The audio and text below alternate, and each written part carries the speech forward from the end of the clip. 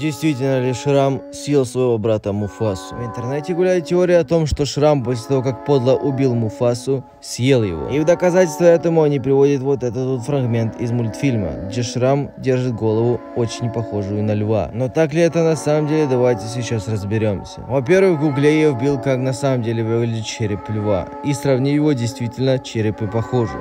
Но, как мы все знаем, Муфаса был очень красивый и большой лев с огромной гривой и головой, а череп, который держит шрам, очень маленький. Размер не соответствует действительности. Вот приблизительно как-то так должен был выглядеть череп Муфасы в лапе шрама. Как видим, размеры не подходят. Скорее всего, это череп какого-то шакала, который был несчастно убит самим же шрамом, но никак не Муфасой.